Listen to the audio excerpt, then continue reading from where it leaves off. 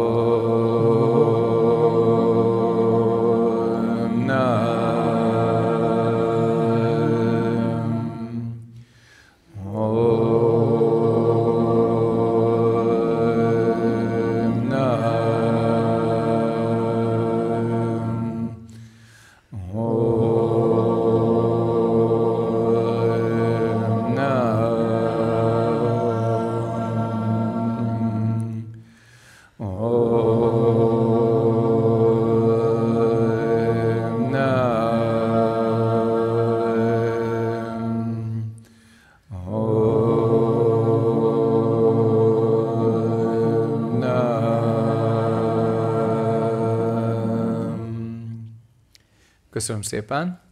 A mai napon a keleti és a nyugati gyakorlat módszereiről fogunk beszélni, különös tekintettel a meditáció és a terápia kapcsolatára, és megkérem Bélát, hogy tartsa meg bevezetőjét. Hát annyit rólam, hogy 17 éves korom óta csinálom ezt a kettőt. Ez teljesen véletlen volt, mert gimnazista koromban három könyv a kezembe akadt, mind a háromban az volt közös, hogy fe, fekete listán volt, tehát biztos börtön volt, ha valakinél megtalálják, rákosék. és hát ebből az egyik az a hipnózisről szólt, a Szelvaradja könyv az a jogáról szólt, és volt egy harmadik, ami az ájurvédáról szólt. És hát aztán nem volt olyan könnyű ez a korszak. Nekem az apám többször politikailag börtönbe csukták, ezért nem tanulhattam tovább. Gimnáziumban is csak a református kollégiumban Debrecenbe jutottam be, állami gimnáziumban nem vettek fel. Az érettségi után még tovább tanulni a szóba se jöhetett.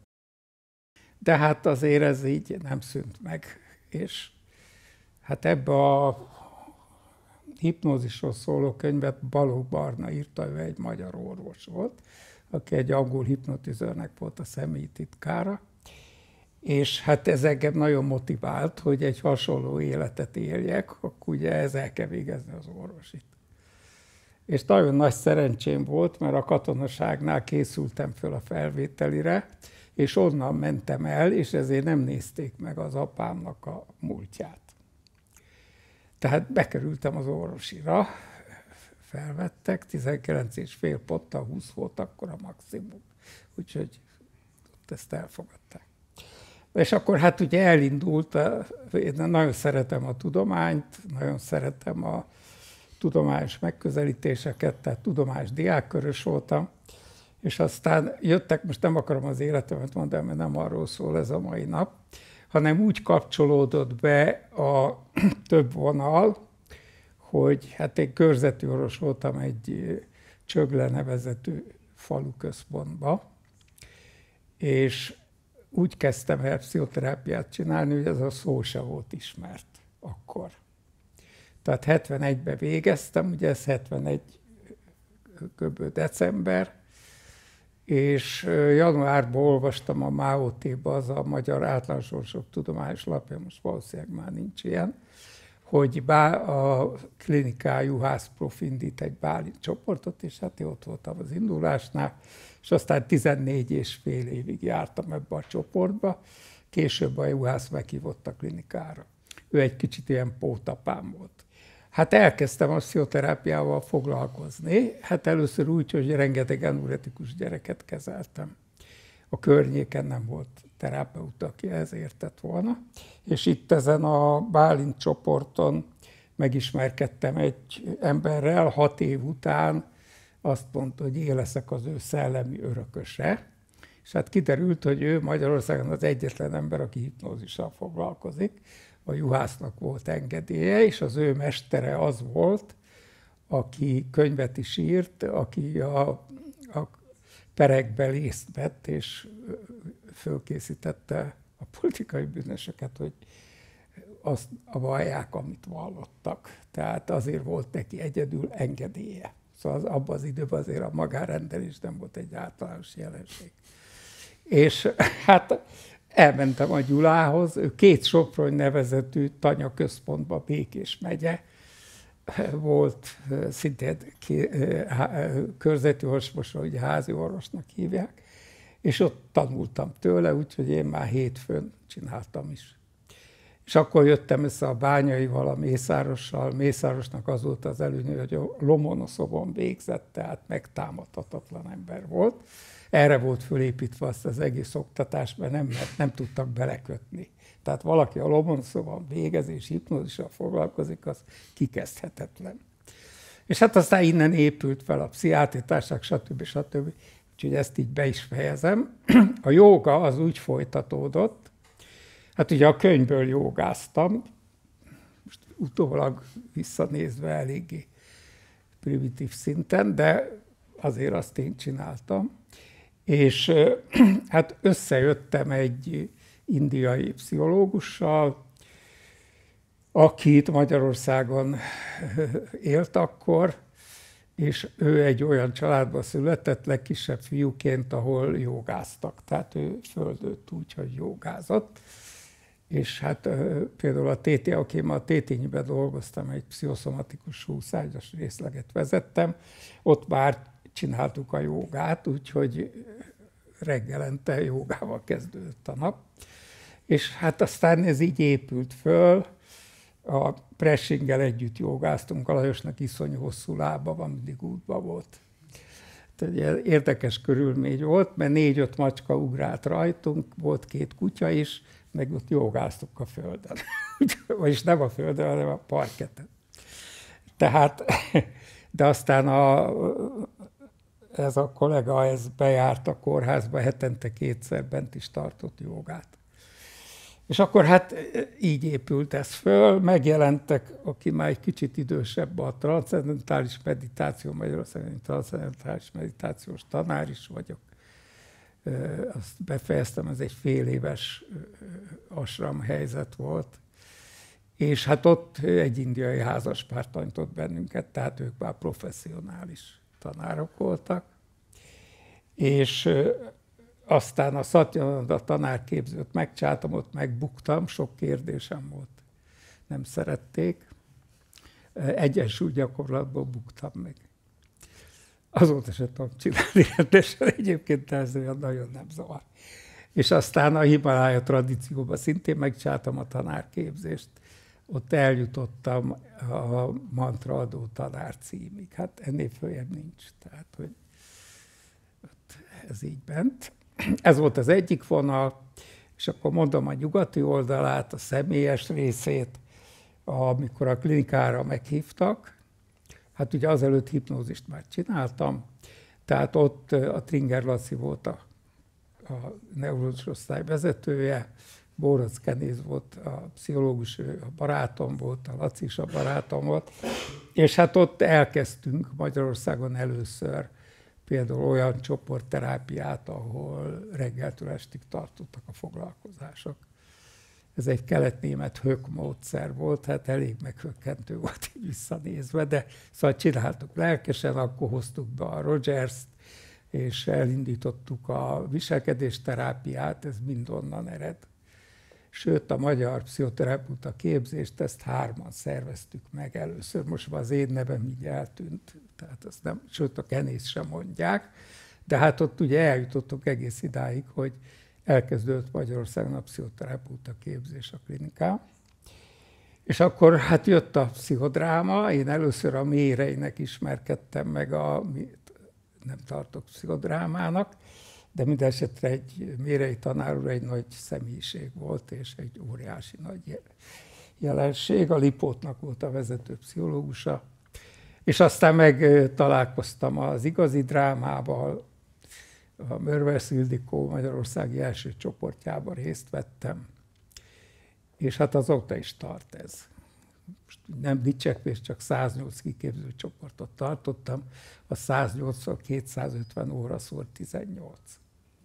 Ennyi tanítványom van, még ezen kívül persze mást is csináltam. És akkor hát eljutottam néhány dologba a kiképző címig, a szupervizor címig, most ezeket így nem mondom tovább. Na most hogy találkoztam az elvekkel?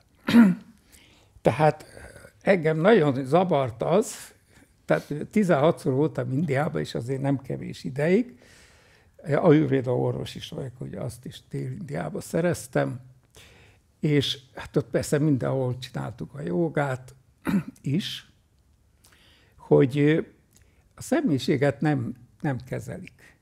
Tehát, hogy emlékszem egy esetre, hogy a, ki a joga tanszéket vezette egy orvos kollega, az kezelt egy nénit hipnózissal, de hát rettentő primitív módon, ilyen direkt szuggesztiókkal, persze annak nem javult a bal keze, ez egy hisztériás bénulás volt, semmi köze nem, nem meg volt bénulva, hanem hát nem tudta használni a kezét, és akkor mutattam neki, hogy hogy csinálja. Úgyhogy azt elkezdtem ott hipnózist is oktatni. Tehát, hogy így, ezek így álltak össze nagyon, és már ott is elkezdődött az, hogy például ennek a nőnek ez egy szexuál neurózisa volt. De az, hogy szexuál neurózis, ezt a fogalmat nem ismerték.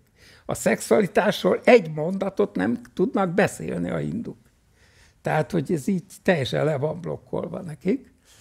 És hát ennek a kollégának is nagyon nehéz volt elmagyarázni, hogy az a probléma, hogy ennek a hölgynek van egy 20 évvel idősebb férje, aki már nem tud szeretkezni a megszokott módon, de a nőt arra kényszeríti, hogy bizonyos dolgokra használja a kezét. És hát a nőnek azért bénult meg a keze, mert nem volt ez kedve. Ugye a tudattalan ez hoz egy ilyen tünetet, hát ha nem tudja mozgatni a kezét, azt elfogadta a férje. De hát ugye azért az főzni se tud. Úgyhogy azt ez a hölgy meggyógyult, én kaptam is ajándékot tőle. De, tehát, hogy a, a, na, szóval, hogy ezek, és itt ezzel a tanárral sokat beszélgettünk erről, hogy hogy működik az ember. És ott is, és nagyon sok esetben utána kijött az, hogy a személyiségről fogalmuk nincs.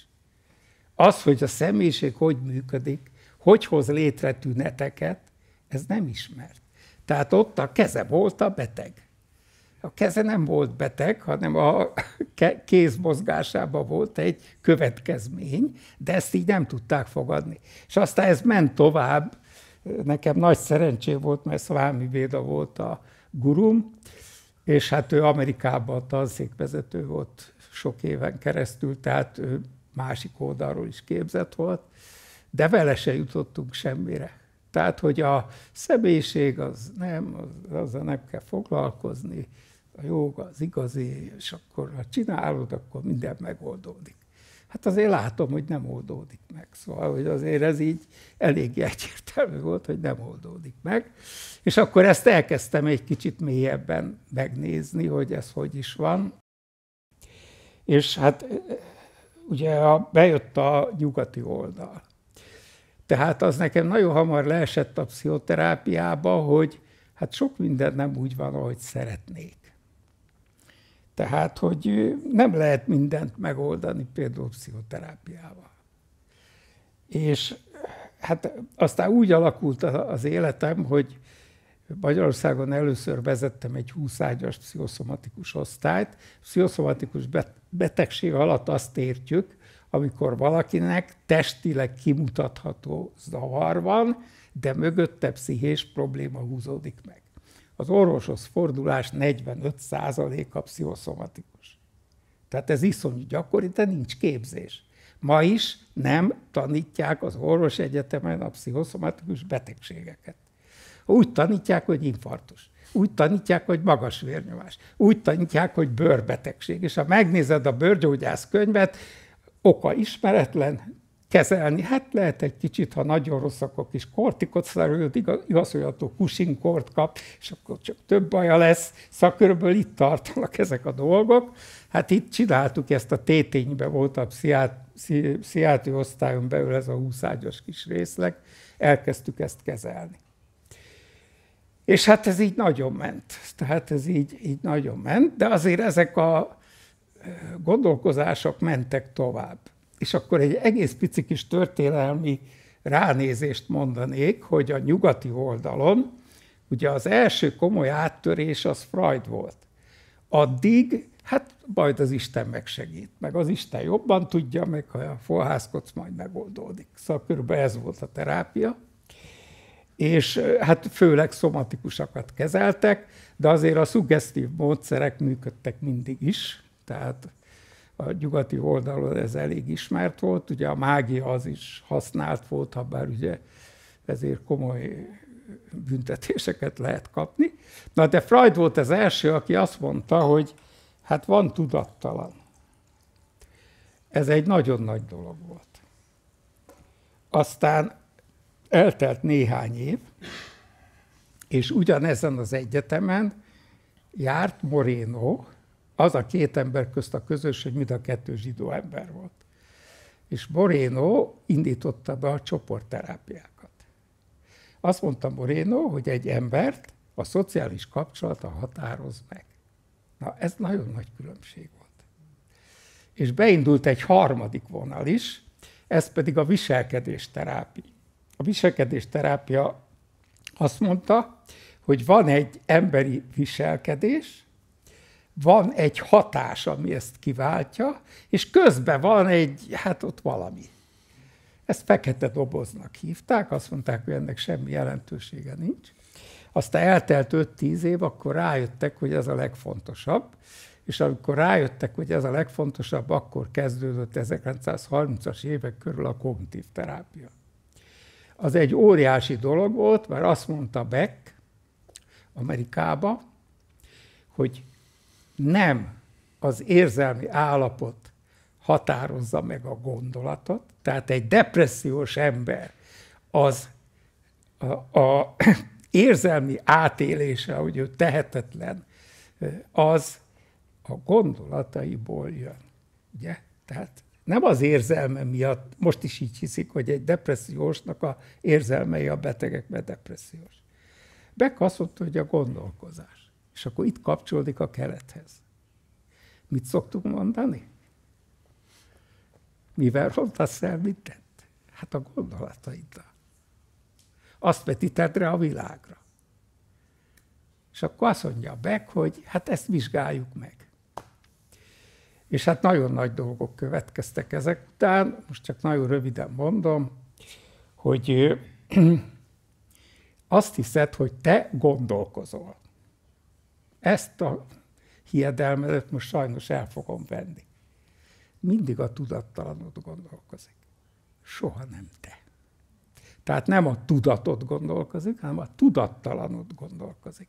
Méghozzá úgy, hogy a tudat tudatelőttes határán van egy attitűdrendszer.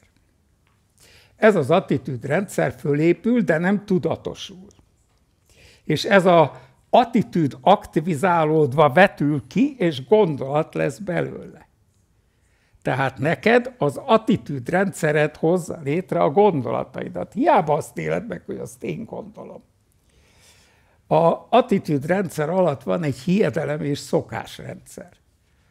Kicsit nézzél magadba, hányféle szokásod van, miket hiszel a világról, önmagadról, ez mind a hiedelem. És a hiedelem alatt vannak a sémák. Hát most már valami 30-at is ismerünk, de nyilván ennél sokkal több van, amik a tudattalamban vannak, az élet rendszerint első három, vagy legfőjebb első hat-hét évében alakultak ki, és meg, megjelennek úgy, hogy például a gondolataidban ott vannak. Tehát amikor te szorongsz valamitől, akkor ha azt megnézzük, akkor az fog kiderülni, hogy nem tudod a biztonságot megteremteni. Na de miért nem tudod a biztonságot megteremteni? Például lehet azért, mert egy olyan helyre születtél, és mindig te születtél oda, ezt ne felejtsük el, majd ez mindjárt jön, hogy, hogy nem kaptad meg az ősbizalmat. És mi a biztonság alapja? Az ősbizalom.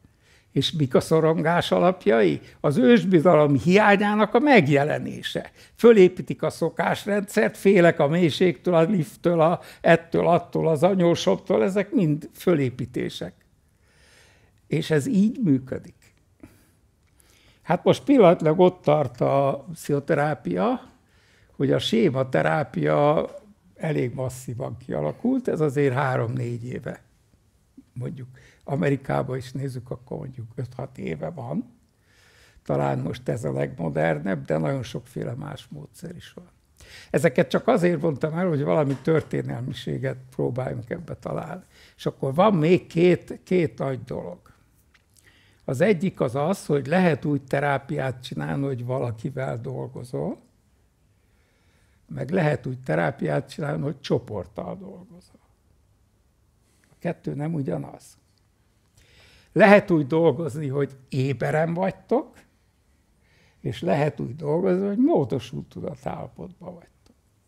És ezt a négy dolgot lehet kombinálni. Tehát én simán csinálok pszichodrámán is csoportos imaginációkat, abszolút nem akadály. Tehát ezek mozognak, de mindenkinek mi a lényege? Végtelen egyszerű lényege van. Az egyik az, hogy mit hiszel magadról, ugye? Hiedelemrendszer. Azt vetíted ki. Tehát te csinálsz valamit, és akkor mit hiszel arról, hogy miért ezt csinálod? Vagy az is, hogy rossz a nem tudom micsoda, akkor te projektálod rá arra valamire azt, amit te hiszel arról. Tehát kőkeményen le lehet úgy egyszerűsíteni a nagyon sokféle pszichoterápiát, hogy mindegyik vagy egyéni, vagy csoportos, vagy csak verbális, most már egyre inkább rájövünk, hogy az a legkevésbé hatékony, tehát nem nagyon érdemes csinálni, és módosult tudatállapot. Most ebből a kombinációból rengeteg minden alakult ki a bodywork-től kezdve a különféle bonyolult technikákig, most ebben nem akarok nagyon belemenni. Ha lesz kérdésetek, nagyon szívesen kiemelve bármelyik, vagy majdnem mindegyikről tudok beszélni. Most ezzel együtt ugye a, a nyugati gondolkozás rengeteg mindent behozott. Most csak néhányat fogok mondani. Az egyik ilyen nagyon fontos dolog az, hogy hogy kötődsz ez a kötődés elmélet. Tehát, ha valaki megfelelő elfogadást kapott az élet első három évébe, és biztonságosan élt, mint például a Szunimnak a fia, akkor az egészségesen fog kötődni. Na de mi van akkor, ha nem kapta ezt meg? Akkor vagy elkerülő lesz, és elkezdi élethelyzeteket elkerülni, és létrehozza a gyönyörű fóbiáit, hol, hol közlekedéstől, hol mélység, hol tér, hol rovar, hol bepisálás, és az rengeteg fóbia van. Ebből mind ilyen elkerülés húzódik meg. Vagy amikor elhalasztott, hogy valamit megcsinálj. Tehát ez a, ki így éli az életét. Ez az egyik.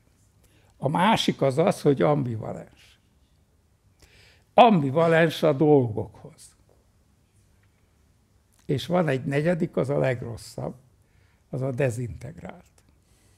Általában az alkoholista szülőknek, a drogfüggő szülőknek, a különféle függésben lévő embereknek a gyerekei, ugye nincs rá idő, mert hol ilyen állapot, hol olyan állapotban van mondjuk a szülő, és akkor ő azt szokta meg, hogy semmi nem igaz. Nincs biztonság. Na, egy ilyennek biztonságot adni óriási művészet, mert nem tudja, nem hisz benne, nem tudja elfogadni. Ez a négy fő kötődés van, erre nagyon komoly kísérleteket végeztek, ez alapjaiba határozza meg jelenleg a pszichoterápiás gyakorlatot, hogy valami, mi, valaki milyen kötődéssel kapcsolódik a világhoz és önmagához. Ez volt az egyik ilyen nagyon nagy dolog. Akkor lehet ide sorolni azt is, hogy egy, ugye a energia és információ átadás, az alapvető. Tehát amikor itt ma együtt énekeltünk, annak volt egy olyan közös energetikája, amit te egyedül nem tudsz megcsinálni. Próbáld meg, nem fog menni. Összekapcsolódunk, és ebben a energiatérben van egy információ áramlás is, mert nem hiszem, hogy itt mindannyian tudtok koreaiul. Így van? És mit közöl veletek? Tehát ennek van egy, van egy információ áramlása, de ha mondjuk ez magyarul zajlik, akkor is óriási jelentősége van. És akkor hogy kapcsolódik ez a kettő egymáshoz? Induljunk el a módosult tudatállapotba. Ugye amikor két ember leül, most ha ezt Rogersen csináljátok, akkor szögbe egy kicsit, így nézni, meg úgy, most ebben nem megyek bele, de ott igazából, ha értesz hozzá, azt fogod látni, hogy a másik beszél, mozog a szeme. És látod, hogy te ugyan beszélgetsz vele, és mind a ketten azt hiszitek, hogy éberek vagytok, de amikor elkezd visszaemlékezni, akkor látod, hogy bal felsőbe ment föl a szemgolyó, vagyis ő egy megváltozott tudatállapotba kerül. Vagy vezetek egy drámajátékot, és azt mondom, hogy akkor most itt vagyunk az óvodába, ha az óvodába kinézel az ablakon, 40 éves most ugye, mit látsz? És elkezdi mondani, hogy mit lát az óvoda ablakán keresztül, mikor kisgyerek volt. De ezt jelen időben mondja. De ezt csak akkor tudja megcsinálni, ha emlékezik. Tehát a módosult tudatállapot rengeteg olyan pszichoterápiás helyzetben megvan, amiről azt hitték, hogy ez okos beszélgetés. Ugye csak vedd az ortodox helyzetet, az ortodox analízis úgy néz ki, hogy van a szófa, a szófa fekszik a beteg, hanyat, a, ül a, a terapeuta, a pszichoanalitikus a fejénél, és csak motyog néha valamit, vagy nem is nagyon szól, az is lehet, hogy alszik. És azt kéri a pácienstől, hogy mondjon ki minden gondolatát, ami az eszébe jut. Hát ezt racionális tudatban nem tudod megcsinálni.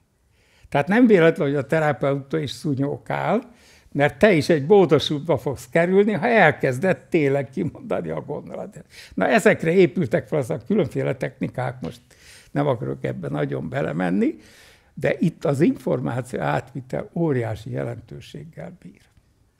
Nézzük meg, hogy az ember hogy fejlődik. Először csak nyugatról nézzük tudományosan.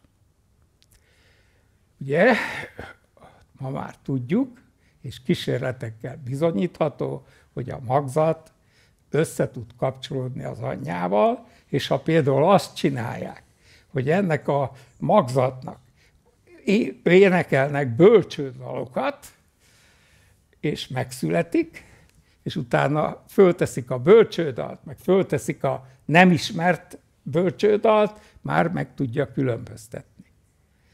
A egyszer szopó újszülött az anyja melltartóját meg tudja különböztetni más szoptató nők melltartójától. Honnan a fészkes fenéből vette? Vagyis információ átvitelnek kell lenni, mert egyébként nem érthető. Rengeteg ilyen kísérlet van. Ugye ettől lett az, hogy a magzati lét óriási jelentőséget kap. Tehát a tudomány most a legszélsőséges helyzetben az ember személyiség kialakulásánál óriási jelentőséget tulajdonít a magzati létnek, meg annak, hogy a két szülő hogy készült föl. Mielőtt teherbe esett az anya, miután teherbe esett az anya, és hogy készültek föl a szülésre, és ez nem múlik el nyomtalanul. Na most itt van a nyugatnak a plafon. Ugye, aminél ledadognak, az az, hogy van karmikus ügy is. Hát miért oda születsz? Ugye az Istenben már nem lehet hitni, főleg ha zen, zent követtek, tehát nincs. Akkor miért mentél oda? Tehát olyan kommunikáció kell, hogy legyen, ahol valószínűleg a megszokott térnek nincs jelentősége. Ki tudja, hogy honnan jössz a köztes létből, és miért pont oda? Hát ez nem véletlen. Ugye rengeteg terápia hozza, ahol már elég merészek a terapeuták, és tudnak ezzel is dolgozni, hogy ezek bizony nem véletlenek. Én soha, és sok ezer hipnózist csináltam, még nem mondtam az páciensnek, hogy menjen vissza előző életébe. Soha nem mondtam, nem is fogom. Én csak azt mondom, hogy ott a probléma. Hangolódj rá, éld át. Le is kérdezem, hogy hogy éli át. Most indulj el és keresd meg a gyökerét. Hogy ő hova megy? Hát az az ő dolga, én csak követem. Tehát lehet, hogy magzati létbe megy, lehet, hogy előző életekbe megy. De ez az ő dolga, én nem mondom neki, hogy menj oda. Tehát, hogy a módosult tudatállapot egy óriási információ áramlást tud lehetővé tenni, és úgy, hogy közben ezt föl tudod használni. Tehát óriási jelentősége van ennek. És van még egy nagyon egyszerű dolog. Ha megnézzük, hogy a megszülető gyerek már tud kommunikálni, ugye két-három nap elteltével már rámosolyog az anyjára. Tehát elkezd kommunikálni. Na de ezt nem két-három nap telt el a megszületése óta. Tehát ezt hozta már magával. Most honnan hozta? Ezt ő építette fel. És hát egyre több ilyen dolgot kezelünk, hogy, hogy mi is van, mi is van a probléma mögött, amikor kiderülnek, hogy ha mögé nézünk a dolgoknak megvázolt tudatállapotba, akkor egyre több olyan dolog jön föl, amivel aztán ugye ki is derül, hogy neki tényleg volt dolga, és hozzáférhetővé válik, és meghaladhatóvá válik. Tehát ez most nagyon kitágult ez a lehetőség. De ha megnézzük a keleti oldalát, hát mi a fenéről szól a tantra? Hát mindenről szól. Tehát az, hogy te elképzelsz képeket, az ugyanaz, mint a kibbe, a katatim imaginatív pszichoterápia azt mondja neked, hogy képzelj el egy rétet. Vagy képzelj el egy fontos embert. Most az, hogy ő sívát képzeli el, vagy nem tudom én kiét, ez már egy megjelenés. De hogy ezt sok ezer éve használják. Tehát az ember imaginációs képességei, az hozzáférhetővé válnak, és módosútba történik. Csak gondolj a görögökre, hogy a jósda hogy működött. Hát kapták előtt a szuggesziót, hogy meg fogják álmodni a kérdésükre a választ. Hát ez teljesen egyértelmű, hogy itt nem csak az volt, hogy aludtak egy jót, hanem az volt, hogy rá voltak hangolódva a problémájukra, és azzal aludtak el. És gyakorlatilag egy hipnózist csináltak. Tehát ez tudott működni. Na most a nagy probléma, hogy a, az információt nyittám egy kicsit, ez most nagyon meredek lesz. Azt mondja a jóga, hogy a teremtésben az első lépés az a hangtalan óm. Az óm, a um, így van írva, az a, hin, a szakszit ABC első és utolsó betűje. Az M, az pedig a hangképzés alapja. Tehát minden hang ebből, a, ebből képződik. De ez még nem kap formát. Tehát ez egy alaktalan, beindítja a teremtést. És elkezd megteremtődni a világ. Meg fog jelenni a hang, és akkor ez így megy tovább, és megy vele együtt az információ. És egyszer csak ez az információ, és itt nem fogok szankszit neveket mondani, mert teljesen értelmetlen, úgy tudod megjegyezni, én sem tudom, akkor le kellett volna írjam, mert fejből nem tudom, de belép az emberbe. Tehát egyszerűen a tudatodat eléri. És több lépcsőn keresztül fog a gondolatig eljutni. Tehát az egész teremtett világnak az információja, az pontosan ugyanúgy működik, mint a megtermékenyült petesejből lesz egy ember. És az egész természetben gyakorlatilag minden ugyanúgy működik, az ok-okozat köti össze. Na de, most az ok-okozat, minden probléma csak akkor oldható meg, ha az okozat előtti okig eljutsz. Egyébként nem fog. Tehát a pszichoterápia nem más, mint a jelenségek, vagy a megélések mögötti oknak a megtalálása. És mi a végső ok? Hát a hangtalan hang. Vagyis az a tér, vagy az a tükörtisztaságú tér, tehát ugye ugyanoda jutunk. Teljesen mindegy szinte, hogy melyik úton jársz el, és, és hova jutsz el. És ez a lehetőség mindenkinek a rendelkezésére áll. Hát ugye itt van egy óriási nagy, rengeteg nagy probléma, de az a fizikai szinten a probléma, hogy ez az információ átvitel hogy történik. A tudomány nem tudta megfejteni. Tehát az, hogyha te beszélgetsz a magzatoddal, hogy kommunikáltok egymással, mert te főleg gondolatba kapcsolódsz, hogy ez hogy zajlik, azt nem tudjuk. Tehát rengeteg információ mozog ide-oda, amit kihasználtak, ugye kihasználták a különféle gyakorlatokba, tehát például a jogába, ezt nagyon régóta felhasználjuk, hiszen a mantra az nem csak arra szolgál, hogy a figyelmet koncentrált, hanem arra is szolgál, hogy egy információt átviszel, amit nem is értesz, mert ugye szangszitül van. Tehát itt rengeteg olyan kérdés van, ami még mindig nyitott, és hát egyelőre nincs rá tudományos válasz. És akkor még egy dolgot mondanék, hogy volt egy Wilber nevezetű ember, ez egy amerikai kollega, aki elkezdte azt tíz éves zen-meditáció után, hogy összerakta az összes bölcseleti rendszert, ami eddig megismerhető volt a világon. És csinált belőle egy közös rendszert. Ez hozzáférhető, ez megjelent magyarul is, és ő azt mondja, hogy minden jelenség, minden gondolat, minden cselekvés, az két dologból áll. A felnövésből és a felébredésből.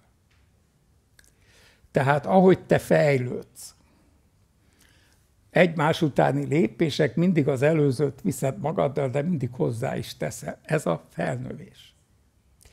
Ez az embernél az általában Magyarországon legmagasabb szint néhányunk kivételével az, hogy tudományos. De nem áll meg a buli. A tudományos tovább tágulhat, ez az intuíció. Csak az intuícióban milyen információ áramlás van, azt csak az eredményét tudjuk. Hogy egy olyan hálózatszerű gondolkozás van, hogy meg tudományosan bizonyított jelenségekből összeraksz valamit, ami egy intuitív ráébredés lesz. Ugye ez mindenkinél van ilyen, hogy vannak megérzései. De hát azért ez növelhető, fokozható. És hát például a keleti rendszerek nagyon is építenek erre. És akkor befejeztem. Köszönjük szépen a fantasztikus tanítást, és hát ott folytatnám, hogy idézzük fel a karmának a négy osztályát, az egyénit, a párost, a családit és a csoportost, és vegyük észre, hogy a kelet, főleg amikor transzcendens praxisról volt szó, egészen mai napig az egyénit és a csoportost rakja össze. Ez a monasztikus társadalom, a gyakorló közösség, ahonnan csak azért, mert bonyolult lenne foglalkozni az ember karmájával másképp, a párost és a családit kivette. Ha nem vette volna ki, akkor az egyén nem tudott volna fölmenni a hegyre, és nem tudta volna felébredés egy bizonyos fokát elérni. Tehát úgy tűnik, hogy az egyéniséggel a kelet csak úgy foglalkozott, ahogy azt a csoportba be kellett illeszteni. Ha te páros és családi karmát viszel, maradjál nyugodtan a világi környezetben, lent a völgyben, haladsz a válságaid sebességével, tanulsz a pofonok és a simogatások erősségével, és kész. Itt azt lehet látni, hogy ugyan volt a tudattalannak néha allegorikus térképe, lásd Aladin és a csodalámpa, szufizmus, és egyéb mesék, de a személyiségfejlődésre egyáltalán nem helyeztek hangsúlyt. Miért? Mert ezt az avatárt magát egy teljesen illuzórikus konstru- konstrukciónak fogták fel, mely létrejött akkor, amikor te megszülettél, mint jelenlegi személyiséged, és amennyit te meghagytál belőle azonosulásként, az megy a következő életedbe. Tehát nem erre mentek rá, hogy téged újra gyúrjanak, hanem arra, hogy ébredj fel abból az álomból, ami te vagy, ami a saját önképed. Aki már tanulmányozta ezt a gyönyörűséges piramisszerű ábrát, amely a test, lélek és tudat működése, együttműködése, az tudhatja, hogy az elmének alapvetően van két nagyon fontos funkciója. Az egyik a komputer, nullák és egyek, ez a manasz, kapcsolódik az érzékszervisíkhoz, és van egy másik nagyon fontos funkciója, ez az aham, az önkép, és az aham kára az, ami ezt az önképet teremti, de állandóan. Olyan gyorsan, hogy nem is veszed észre. Na most a meditáció nem csinál mást, mint ezt az aham kárát leállítja. Tehát amikor tartod a nagy kérdést, tartod a mantrát, vagy felfogod a teret és a hangokat, akkor visszatérsz egy gondolkodás előtti nem dualisztikus állapotba, ahol a te önképed, énséged nem jön létre, és látod a személyiségednek az eredeti nem létezését. Ez azért fontos, mert hogyha véletlenül az ember fejlődni akar, akkor az ébredésnek bizonyos foka nélkül ezt nem tudja megtenni. Tehát amíg ragaszkodsz az autódhoz, addig nem lehet a szervizbe vinni. És nem tudod ott hagyni a mestereknek, hogy csinálják meg. Viszont ott, a monasztikus társadalomban a mai napig csak a szabályok, írott és íratlan törvények, ezek voltak a fejlődés zálogai, hogyha te például nekiütköztél egy fogadalomnak, és azzal neked bajod volt, elmentél a tanítódhoz, a mesteret, és elmondtad, hogy te nem tudod betartani ezt és ezt, holott szeretnéd, és akkor kaptál egy gyakorlatot, amivel ezt megfejlődhetted, de akkor még rólad, mint entitás, mint individuum, még nem volt szó. Megint csak arról volt, hogy hogyan passzolsz bele a szangába jobban, a csoportodba jobban. Tehát az a fajta személyiségfejlődés, amit a nyugat ennyire erőltet, az ott nem volt. Egészen a közelmúltig ez nem volt téma. És egyszerűen azért nem, ahogy ezt elmondtam, mert a páros és családi, illetve az egyéni és csoportos karma szét volt választva. Ezt láthatod az indiai rendszerben, a varnáknál, a kasztrendszernél is, és láthatod a konfuciánus társadalomban is, hogy kik azok, akik a spirituális praxist csinálják, tehát karmikusan elértek oda, hogy ők már a megvilágosodáson, a szatvikus léten dolgozhatnak, mert már nem kell a rajaszban, a tűzben, a vágyak tűzében, a harag tűzében, vagy a tamaszban, a teljes kötöttség állapotában leledzeniük. Na most az én meglátásom az, hogy még hogyha a hegyente nagyon jól teljesítesz, ez akkor is 50 százalék. Mert hogyha nem viszed vissza ezt a belátást magadra, akkor nem használod azt az elképesztő lehetőséget, hogy az ébredés átmenjen fejlődésbe, és a fejlődés a válságon keresztül újabb ébredésbe. És hogyha ezt nem tesszük meg, akkor félszárnyú marad a madár. A nyugat az nagyon jó a diagnosztikus feltáró technikákban. Az egyénre fókuszál, hogy az édenkertben van a páros karmának az eredete. Tehát az édenkerti állapot igény az a biztonságérzet igénye.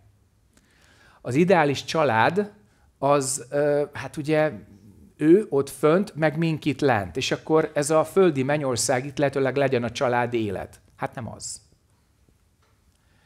Tehát amikor azt látod, hogy a nyugat diagnosztizál, magyaráz, rendszert alkot, akkor ezt egy olyan kísérletként tesz, hogy fejleszem, fejleszem, fejleszem, fejleszem, de a nyugatban, mivel projektálta a saját teremtőképességét fölfelé, az inherens, bennünk lévő képessége az ébredésnek, lásd buddha természet, nincs meg a paradigmában. Ezt próbáljuk meg valahogy importálni, hogy benned ott van az a potencialitás, amitől te felébredhetsz, és így fejlődhetsz is. Miért fontos ez? Mindenki idézze föl a zenkört. És itt az önismeret, önmeghaladás, önátalakítás, és végül egyéb minőségek feldolgozásával szeretnék foglalkozni. hogyha a nulla fokot nézed a zenkörön, az a teljesen egoisztikus önérvényesítés. Az a nagyon-nagyon primitív önzés, hogy csak én vagyok a fontos, és mindenki más az menjen. Kész. És nagyon sokan élünk így. Nagyon sokan csak az önérvényesítésben gondolkodunk, és mi ennek az akadálya, vagy a fala, a másik ember önérvényesítés. Hogy csattanunk, hogy, hogy nekem is kell a pénz, nekem is kell a hatalom, nekem is kell minden. De mivel neked is és nekem is kell, ezért kialakítunk valami rendszert, hogy lehetőleg ne nagyon egymás kárára, csak egy kicsit egymás kárára működjön ez az egész. És ez az elképesztő frusztráció, ami az önérvényesítés eredménytelensége, az egoitás előbb-utóbbi becsődölése, ez hozza létre azt a fajta motivációt, hogy ismerjem már még egy kicsit jobban önmagam. Hogy milyen karmám van, miért vagyok itt, mi a célom, hogyan lehetek sikeres, boldog, hosszú életű, stb. stb. Ezek a primér motivációk ahhoz, hogy általában az ember elmenjen egy tanfolyam, hogy neki jobb legyen. És az önismeretben el lehet jutni egy nagyon-nagyon fontos pontig, amikor már azt látod, hogy te nagyon-nagyon megdolgoztad a karmádat. Ez a 90 fok, amikor már nagyon megismerted magad, nagyon megértetted önmagad, már több terapeutát elkoptattál. Már mentél a 180 órásra, 250 órásra, 300 órásra, már eltelt 10 év. És mi, mi maradt 10 év alatt? Te magad maradtál a középpontjában az egésznek. Még mindig a te abszolútnak vett személyiséged a fontos, mert nem láttad be a személyiség eredeti nem létezését. Hát honnan láthattad volna be, hogyha egy olyan környezetben vagy, ahol transzcendens advait a hagyomány mondjuk nincs. Mert nem találtál meg joga könyvet, meg ajurvédikus könyvet, és hipnoterápiáról szóló könyvet egyszerre 17 éves korodban. Mert ez nem volt. Tehát ha 90 foknál az illető nem megy tovább a 180 fok felé, amely a teljes önmeghaladás, tehát ahogy gyakorolsz, úgy vékonyodik el az egoitásod kérge, utána pedig a személyiségednek az elképesztő kényszere, hogy ő tapasztaljon, érzékeljen, külön legyen, ez a specialitásnak az igénye. Ha ez nem történik meg, akkor a 90 fokról visszamegy a nulla fokra, vagy annak a közelébe, tehát ugyanolyan hülye már nem lesz, csak hasonlóan, de okosabb lett, taktikusabb lett, jobban fog önérvényesítést gyakorolni. Okosabban és finomabban, ellenállhatatlanabbul fogja az érdekeit érvényesíteni, tehát egy sokkal nagyobb felbontású képernyőn látjuk ugyanazt az ábrát, az ént. És amikor a 90 fok visszamegy a nulla felé, az még nem őrsonsontás, csak azt látod, hogy megállt a fejlődésben. Az az lesz, hogy egy nagyon-nagyon okos ö, énréteg elkezd egy újabb abszolút kérget fejleszteni maga köré, mert még mindig ő maradt a középpontban, mert nem mert az önismeretből átmenni az önmeghaladás felé. És ahol nincs transzcendens praxis, ott az önmeghaladás lehetetlen. Ezt vegyük föl valahogy a tudatba, és továbbítsd az állaja vidzsnánád, azaz a hosszú távú emlékezeted megfelelő polcára, hogy ezt ne felejtsd el. Tehát amikor az önmeghaladásról van szó, ott te már egyre kevésbé vagy fontos, mert megdolgoztad, megismerted önmagad annyira, hogy ezt a személyiséget kvázi békén lehet hagyni. Nem ott hagyni, békén lehet hagyni, mert a természetes evolúció útján, az ébredés felülés útján ez elkezdett ketyegni.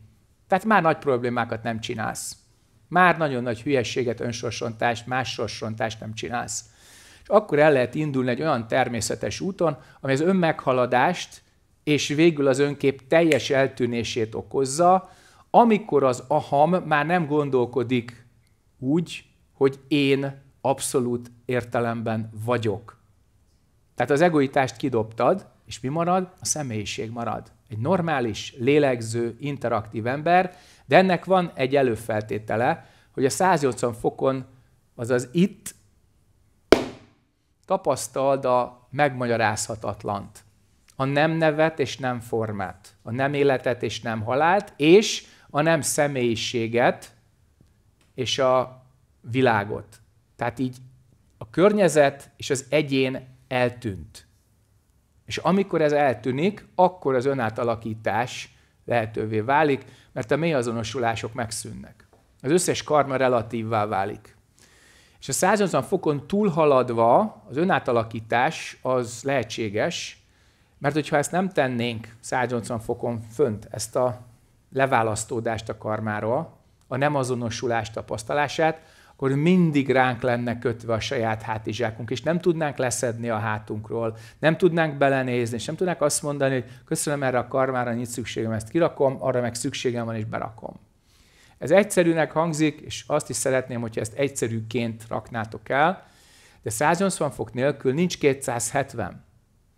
Nyugaton nagyon sokan gondolják, hogy az előbb említett mágia, az létezik a 90 fokból. Elolvastam. Picikét hozzá szaggantottam. És amikor 90-ről 270-re így nagyjából egyenesen vagy lapos görbén át akarok menni, akkor lesz a bűvészinas. Akkor lesz az, aki a egy tized részben avatott, és azt hiszi, hogy százszorosan avatott. És a bűvészinasban az a veszélyes, hogy az egoitását benne hagyja. És ő belőle az a mágus tanonc lesz, aki a világot akarja megváltoztatni önmaga helyett. Úgyhogy ezek, a, ezek nagyon fontos tapasztaláson alapuló dolgok. Miért? Mert te is a hibáidból tanultál először a legtöbbet, utána mások hibájából, aztán ki tudja. Tehát a 180 fok nélkül a teljes leválasztódás, a teljes nem kettősség, a teljes nem ragaszkodás megtapasztalása nélkül nincs transformáció. Csak mókolás van. Csak rakom újra ugyanazt a sarat, újabb és újabb edénybe, újra festem a homlokzatot, egy újabb maszkot veszek föl, és egy, utána egyszer csak vége az életnek, és ezt a katyvaszt, ezt a káoszt viszem át a következőbe.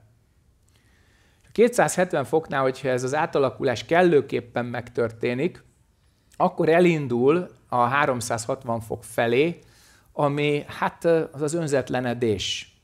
Megfelelő környezetben az önátadás, az önfeláldozás, és ezen keresztül az önkiteljesedés. Tehát a nulla fokos önkiteljesedés, hogy majd én.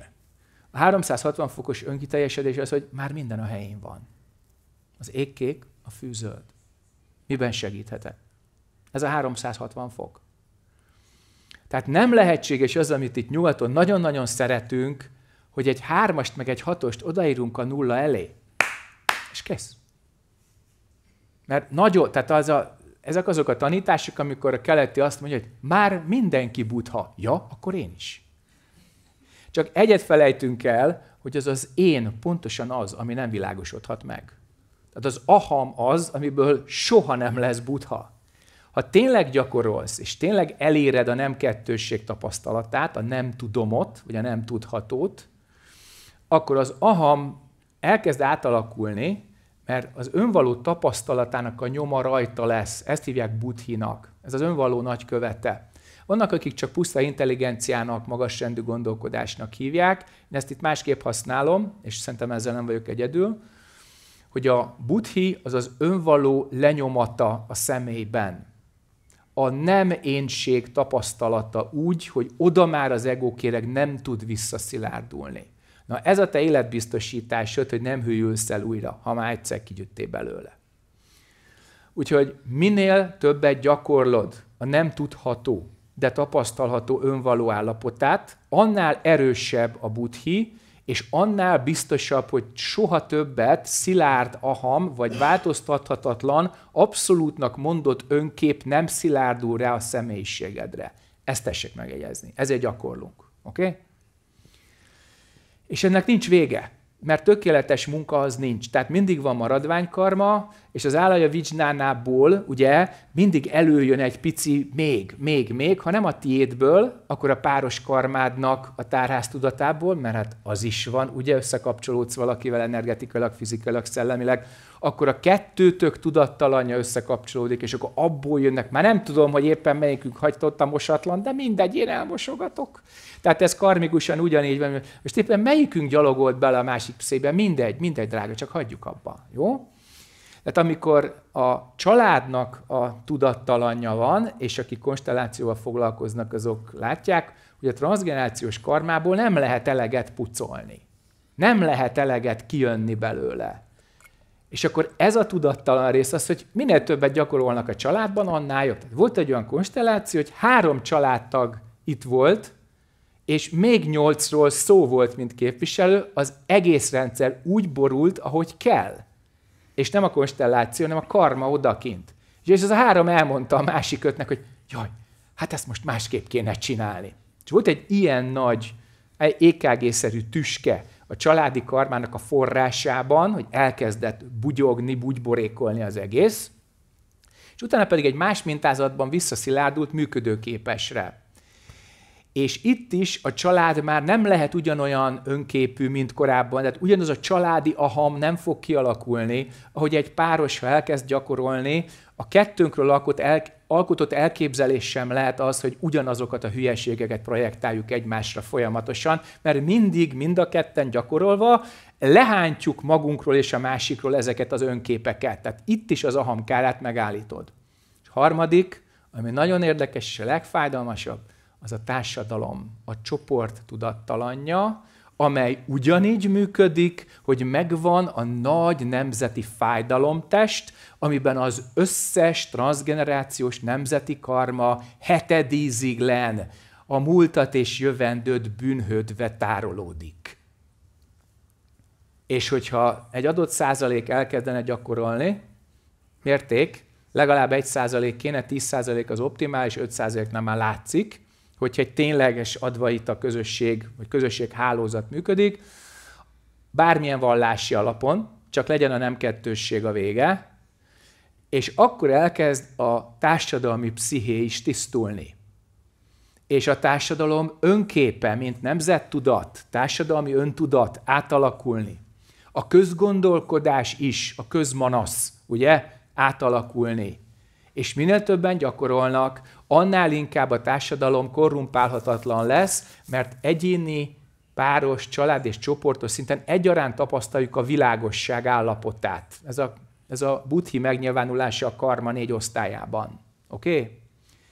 És hogyha ezt megnézed, és párosítod azzal az öt fokozattal a zenkörön, amit az előbb elmondtam, soha nem leszel munkanélküli. Soha és a bevezetőm végén csak az intuíció általam működőképesnek tartott definícióját szeretném elmondani. Az intuíció nem más, mint ennek az önvaló tapasztalatának közvetlen megnyilatkozása. Használja az IQ-t, az EQ-t, tehát az értelmi és az érzelmi intelligenciát, de nem egyenlő vele. Közvetlenül egy nem név, nem forma, nem fogalmi forrásból származik, amely a nem kettősségnek a tapasztalása, és ebből a tiszta, térszerű, tükörszerű tudatból jön így elő. És ez a spontaneitás az, amely hordozza a Zen négy alapelvét, hogy nem támaszkodsz a fogalmi gondolkodás és az írásokra, közvetlenül az emberi tudatra irányulsz, a felébredés nem más, mint igazi önvalónk tapasztalata, és ekkor a tudattól tudatig való átadás megvalósul, hallhatod belőle a bevezetében a magzat és az anya, illetve a szülők közti kapcsolatot, mert Benedek az én tenyeremen át is érezte a nagy dáranit, és a második trimesztertől ráfordul, és így cuppant az anyuci hasára belülről, hogy apuka tenyeréhez csatlakozzon, ahogy a nagy dárani jött belőle. Tehát ezért ezeket tapasztalni lehet nagyon szépen. Végül pedig beszéltünk arról a diagnosztikáról, amit a nyugat akár a sématerápián, akár a CBT-n, akár a kipen módosulton keresztül tud. Hogy kapcsolódik ez a meditációhoz? Nagyjából úgy, hogy ahogy az ahamot, az én képet kikapcsolod, úgy az önvédelmi mechanizmusaidat is kikapcsolod. Ezért van akkora jelentősége a meditációnak és a helyesen gyakorolt terápiának. Például gyakran beszéltünk arról, hogy igazából csak a módosult működik. Miért? Mert az kapcsolja ki a racionális alapon fölépített önképedet, amely a legnagyobb gátja a gyógyulásodnak. Tehát az az aham, az az önkép, amely mindig túl akar élni, mindent meg akar csinálni, mindig ő az első, mindig ő a legjobb, mindig neki kell a legtöbb figyelem. Miért? Mert én én vagyok. Borzalom. Ez tarthatatlan. Nem tudod ellenállással, erővel, megváltoztatni, minél több energiát teszel bele, annál erősebb lesz. Pozitív vagy negatív energia, mindegy, meg kell kerülni. Ez nem az elkerülő mechanizmus, ez más. Ez áthatolás azon a falon, amin csak a neutrínó megy át. Tehát amikor módosultban kikapcsolod az önkép ellenállását, akkor ugyanazt csinálod, mint amikor a koan praxisban, az interjú szobában megütöd a padlót, és az intuíciód adja a választ előbb-utóbb. És ahogy a diagnosztikában is van spontaneitás, ugye a spontaneitásban is van diagnosztika, mert az nagyon jól látszik, és aki már haladó koan gyakorló, az észrevette, hogy a helyes válasz és a helytelen válasz között van egy eltérés, és az eltérésnek a nagysága a szenvedésednek a nagysága a karmádnak a súlyossága. És ekkor hallasz tőlem egy-két mondatot, hogy nem tudod, hogy honnan tudom. Én sem tudom, hogy honnan tudom. De nagyon világos, hogy a helyes válasz és a helytelen válasz közötti rés, ott van az éned, ott van a feldolgozatlanságod, ott vagy te. Érted? És hogyha végre komoly munkával meghaladod a karmádat, akkor visszatértél az önvaló állapotába, és így abból a nézőpontból intuitíven ráérzel a válaszra, az a szög, az a látásmód már akkor tiszta. És akkor jön a következő lépés. Újra az egészet előről. Kinek van kérdése? Már én még mondanék hol. Mondjad. A látszatra nagyon messze van egymást a meditáció, meg a módosult tudatállapot terápia. Látszatra. Mitől működik egy módosult tudati terápia? De mármilyen terápia is. A legfontosabb, az én nézetem szerint, ezt kevesen hiszik el, a terapeuta személyisége. Második, az alkalmazott módszer, és csak a harmadik a paciens problémája. Ugye mindenki azt hiszi, hogy a probléma a legfontosabb. Mi a hasonlóság és különbség a pszichoterapeuta és mondjuk a szanga és aki vezeti a közt? Semmi. Nincs különbség. Mindegyik arra szolgál, hogy ezt a folyamatot segítse. És hol vannak a veszélyek, azok is ugyanazok. Az, hogy valaki milyen szinten van a fejlődésben.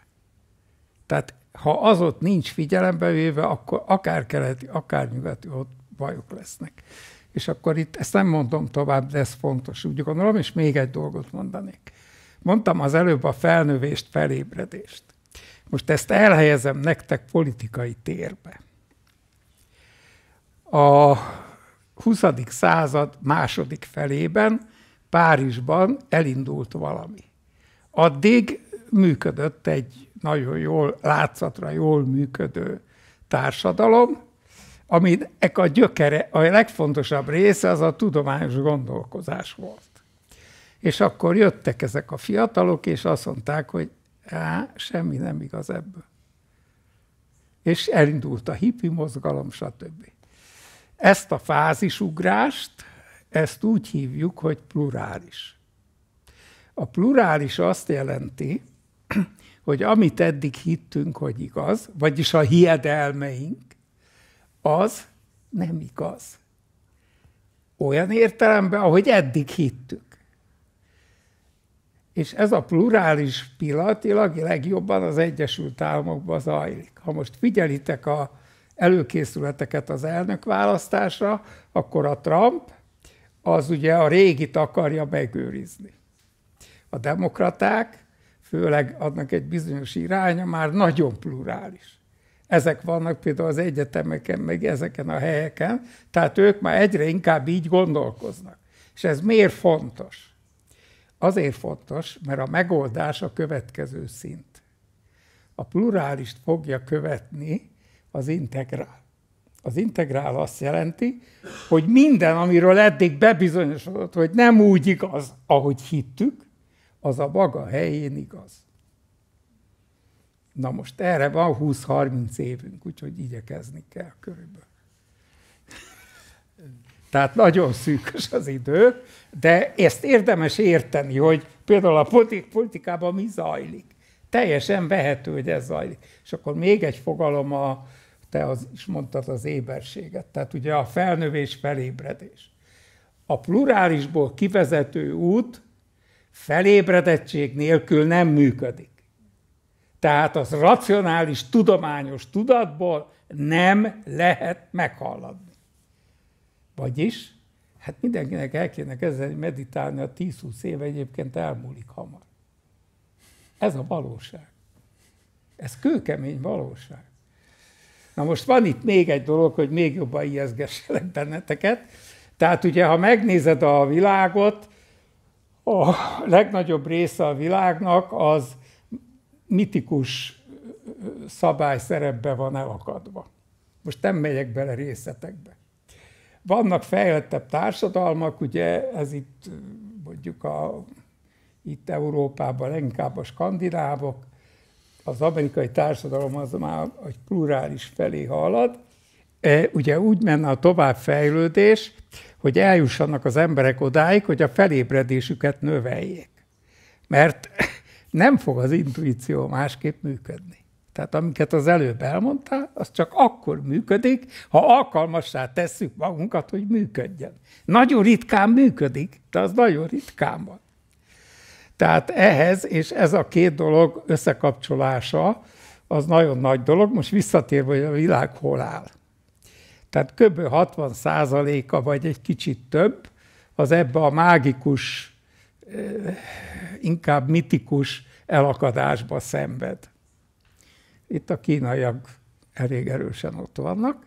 A szabály szerep, hát az a szovjet barátaink, ugye, ott nincs mese. És hát vannak átmenetek. Magyarország az egy ilyen feudális valami, ugye ez is egy érdekes helyzet, és innen a kivezető utak nem függnek attól, hogy hol tart a társadalom, csak attól függnek, hogy mennyit dolgozol a felébredéseden. Persze nyilván egy környezet, ha kedvezőbb, akkor kicsit egyszerűbb lesz, de ez nem kell, hogy megakadályozzon. És itt van a felelősség. Tehát ezzel az a baj, én mindig, vagy sokszor akadok el itt, mikor tanítok, hogy eljutunk a transzcendens gondolatig, eljutunk az igényig, csak nem gyakorolják. Az, az a lépést nem lehet kihagyni.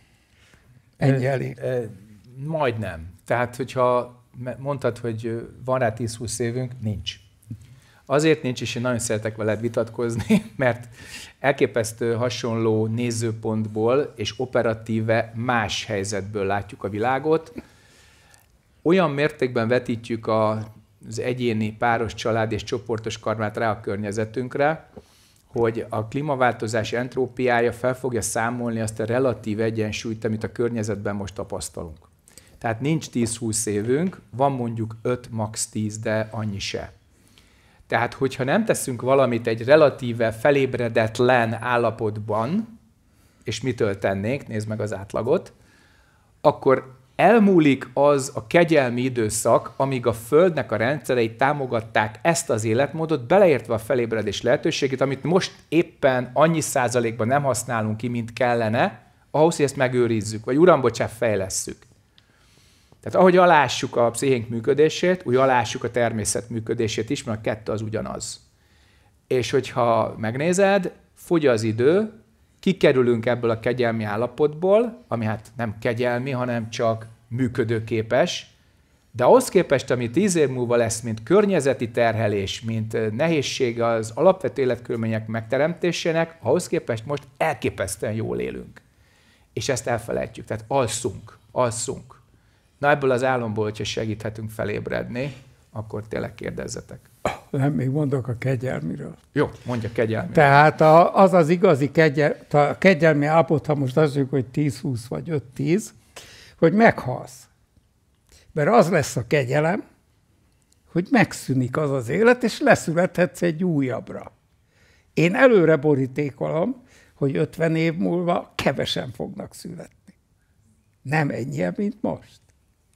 Tehát ezek nagyon szépen fognak összeállni.